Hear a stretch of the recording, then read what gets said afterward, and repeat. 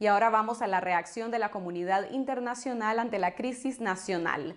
Veamos la entrevista a José Miguel Vivanco, director de Human Rights Watch para las Américas, sobre los recientes arrestos de aspirantes presidenciales, dirigentes opositores y empresarios en Nicaragua y la resolución del Consejo Permanente de la OEA condenando estos arrestos ejecutados por el régimen de Ortega. Carlos Fernando Chamorro conversó con el defensor de derechos humanos y esto fue lo que dijo.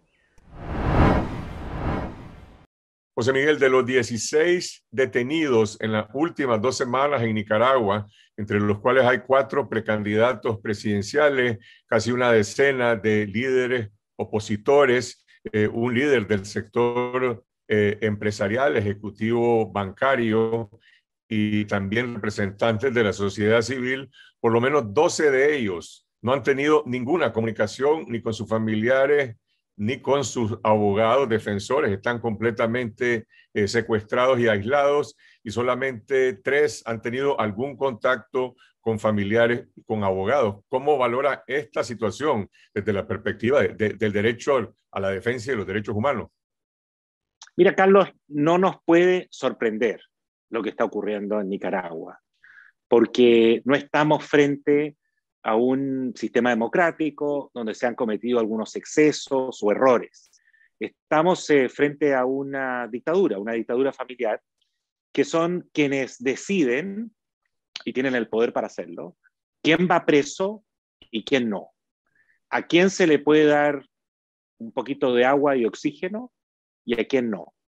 En qué circunstancias se les detiene, a quiénes los, enviamos al, al chipote y, si se les permite que les entreguen alimentos o medicinas o no. Es decir, es el reino de la arbitrariedad total, de la, de la administración del poder eh, de un modo caprichoso. Todo depende del, del humor, digamos, está de buen humor o de mal humor el señor Ortega o la señora Murillo. Y de otros cálculos, cálculos tácticos, como se trata de una pareja que ejerce el poder de una manera brutal y, son eh, esencialmente tácticos y utilizan una especie de visión militar de lo que es el ejercicio del poder. Han decidido secuestrar y mantener como rehenes a estas personas, a pesar de tratarse eh, de personas inocentes que no tienen por dónde probarles absolutamente nada. Eh, como ellos controlan el Congreso, controlan el Poder Judicial, eh, el Ministerio Público, la policía y el ejército, se pueden lamentablemente dar ese lujo. ¿Cómo y, y, no rendirle cuentas a nadie, a lo menos en el plano interno. ¿Cómo valoras la condena que ocurrió ayer en la Organización de Estados Americanos en la que 26 países condenaron al régimen, demandaron la liberación eh, de los detenidos? Este es un tema fundamentalmente de, de, de derechos humanos o de democracia. Las dos cosas. Aquí estamos ante una violación flagrante de la Carta Democrática.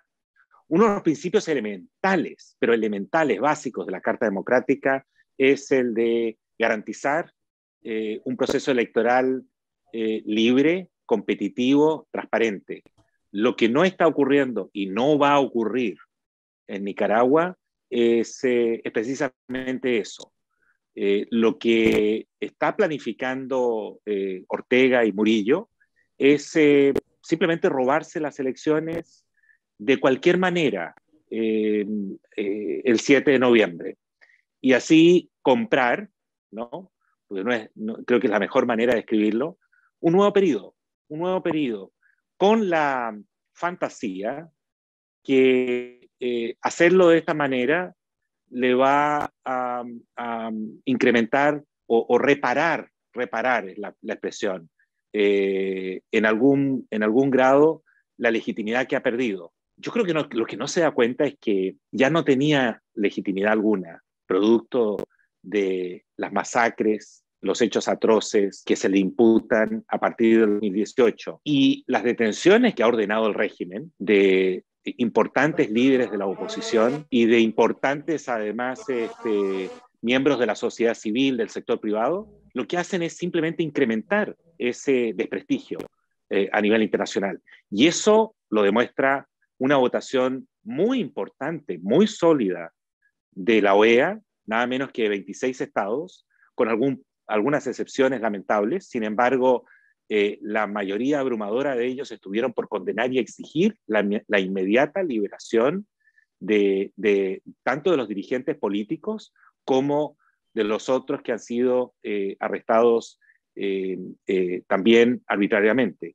Sin embargo, tres países se abstuvieron, un país centroamericano, Honduras, y dos países latinoamericanos de gran peso en la región, México y Argentina, que han brindado una explicación o una justificación en la que ponen una suerte de contradicción entre defender o no los derechos humanos y la democracia y el tema de la autodeterminación. ¿Cómo valoras esta posición de México y Argentina? ¿Puede tener eco, resonancia en el resto del continente? No lo creo, no lo creo. A ver, la extensión de Honduras creo que es fácil de interpretar como que se trata de un país que todo el mundo sabe eh, está eh, hoy día eh, prácticamente en manos de los carteles y lo que está haciendo es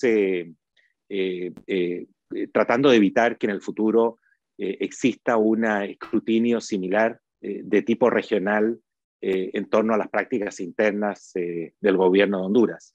Ahora, la, decisión tomada por Argentina y, México, que además eh, sacaron un texto, publicaron un texto aparte, eh, un texto que está plagado de contradicciones, que parece más bien escrito, parece sacado de un eh, libreto de este gran personaje mexicano Cantinflas, ¿no?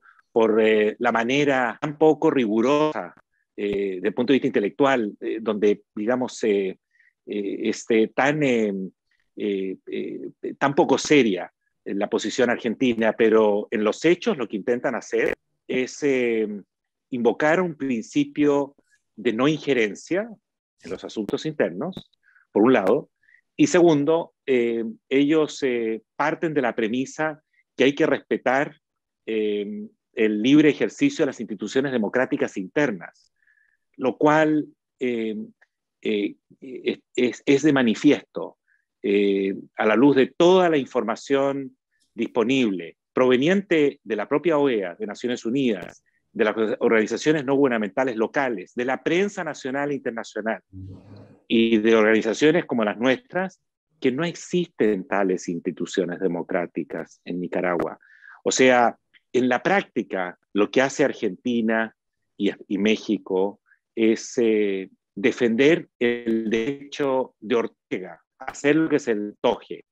Y eso lo llaman eh, respeto a la no injerencia de las instituciones locales que, como insisto, sabemos, todas ellas obedecen a quienes están hoy día ejerciendo el, poder en Nicaragua de una manera además eh, brutal y caprichosa. ¿Hacia dónde apunta el balance de la OEA, sus próximos pasos? Habla esta resolución de eh, darle un seguimiento e incluso convocar a una eh, Asamblea de Cancilleres. Por otro lado, en Nicaragua la redada sigue. Esa misma noche, después de la, de la resolución de la OEA, pues se capturó al, al presidente ejecutivo del BAMPRO, eh, Luis Rivas Anduray, y sigue la presión sobre diferentes sectores del país. ¿Puede la OEA reunir un consenso para tomar otro tipo de acciones de presión a Nicaragua? Yo creo que sí. Lo que hasta ahora eh, eh, la realidad demuestra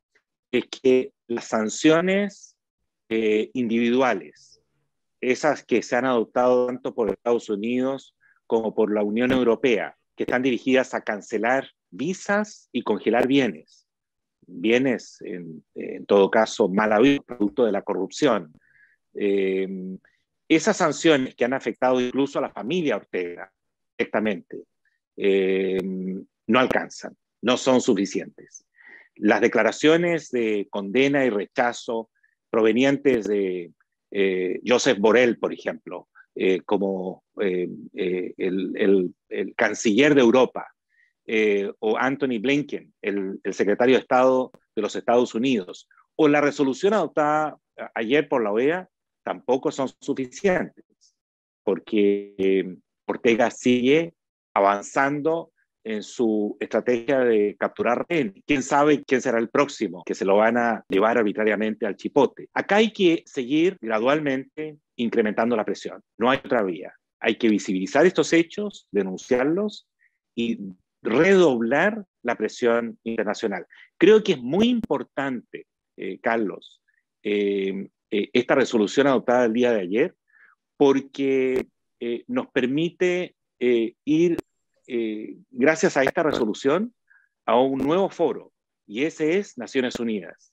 Llevar esta materia al propio secretario general de Naciones Unidas. Es una de las propuestas que, que vamos a hacer en un informe que estamos elaborando ya, estamos cerrando el informe en las próximas horas y esperamos eh, darlo a conocer a la opinión pública el próximo martes, el martes 22. Queremos que el secretario general, eh, Antonio Guterres, eh, tenga un, un, liderazgo más visible en esta materia. Y para que Naciones Unidas tome cartas en el asunto, se requiere que los países vecinos, los países de la región, ya tengan una posición, un pronunciamiento. En ese, en ese sentido, creo que la resolución, eh, que me parece eh, muy contundente de, la OEA del día de ayer, exigiendo la inmediata liberación, el cese de la represión, ayuda muchísimo para poder trasladar esta discusión al, al, al, foro internacional por excelencia que es el de Naciones Unidas. La posición oficial del gobierno de Nicaragua ha intentado justificar esta redada y esta embestida de represión bajo el alegato de que su gobierno está siendo objeto de una conspiración eh, internacional y por el otro lado, los propagandistas del régimen dicen claramente, estamos apresando a estos rehenes porque queremos hablar, queremos obligar a Estados Unidos a negociar con el presidente Ortega. Se conoce, sin embargo, de que eh, diplomáticos de Estados Unidos han intentado, han ofrecido dialogar con el régimen y no ha existido ningún interés. Es decir, lo que está aquí en juego es acaso una posible diálogo político eh, antes de que Ortega se reelija o después que Ortega se reelija, como lo ha anunciado él mismo, que querría llamar a un diálogo después de su reelección? Carlos, yo creo que las explicaciones o los intentos de justificación que da el régimen a este tipo de abusos de poder eh, son eh, risibles y no son tomadas con seriedad por ningún actor, por ningún país o gobierno democrático en el mundo. Esto de eh, eh, intentar eh, revestir estos hechos como la consecuencia de una gran conspiración contra Nicaragua, que es la típica de los dictadores, envolverse en la bandera nacional y confundir los intereses propios, familiares, con los intereses nacionales. creo que eh, este discurso eh, que representa el señor Moncada, el canciller de, Ortega, eh, es realmente muy pobre, está lleno de lugares comunes, son simplemente eslogans que eran típicos de la Guerra Fría, pero que a estas alturas, con el grado de información que existe sobre Nicaragua, gracias en, buena parte a la globalización, todo el mundo entiende y sabe que aquí hay un eh, ejercicio descarado del poder por parte de eh, esta pareja de dictadores y que lo que están haciendo es limpiando el camino para garantizar eh, un robo a, a, vista de todo el mundo de las próximas elecciones presidenciales. Mencionaste hace un momento el tema de la ilegitimidad, de la cual ya está a la vista, la falta de legitimidad del régimen y que esta ilegitimidad podría incluso agravarse más en una reelección sin competencia política, bajo estado policial, con rehenes, etcétera. Eh, sin embargo, Ortega podría estar intentando verse en el espejo de países que han sobrevivido, al menos a corto plazo, a esa falta de legitimidad. Dirá Ortega, ahí está Venezuela, ahí está Siria, aunque Nicaragua es una economía abierta, es una economía predominantemente privado en la que está por verse cuál es el impacto que tiene esa ilegitimidad en, la vida nacional, en la economía, en el tejido social. ¿Cómo, cómo aprecias este, este cálculo del régimen de eh, sobrepasar la ilegitimidad a corto plazo? Mira, alguien tiene que explicarle a Ortega que Nicaragua no es Venezuela. Eh, Venezuela tuvo durante muchos años el músculo eh, que le hizo posible resistir, sostenerse y propagar y promover el, modelo bolivariano en el resto de América Latina. Y eso tiene una gran explicación eh, y una única explicación. Y es el hecho de que Venezuela cuenta con las reservas más importantes del mundo eh, de petróleo. Y no solo esas, también en minerales preciosos, en, oro, en diamantes. Estamos hablando de una potencia mundial en términos de recursos naturales eh, escasos y muy valiosos. Hoy día Venezuela está arruinada, pero, pero todavía cuenta con esos recursos y tiene la capacidad de sostenerse.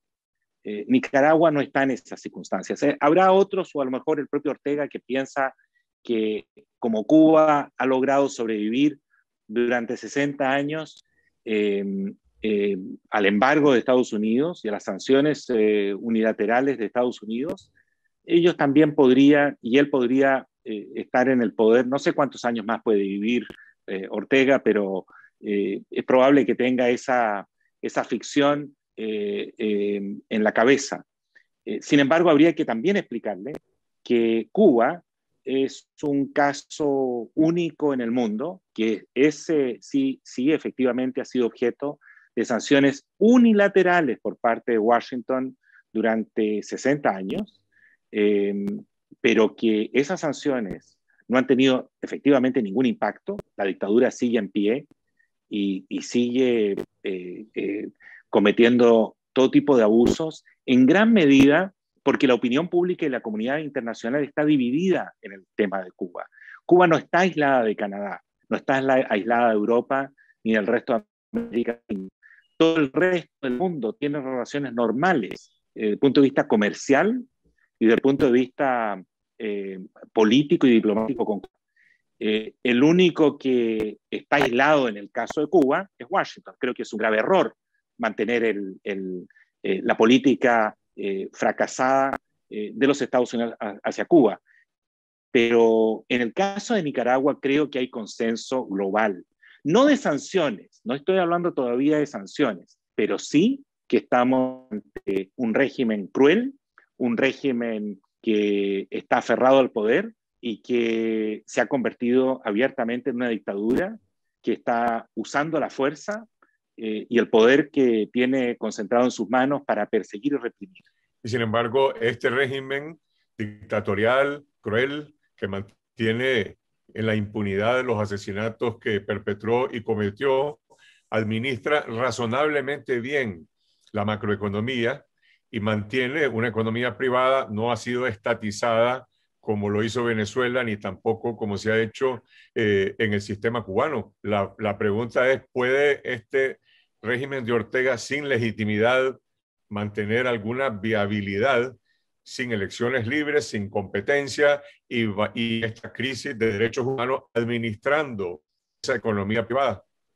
Es posible que eh, los eh, economistas que asesoran al régimen eh, le pueden garantizar o asegurar a Olga Murillo todos los días que hay suficientes reservas como para sostenerse un buen tiempo. Pero eso no es un plan de país, eso no tiene futuro.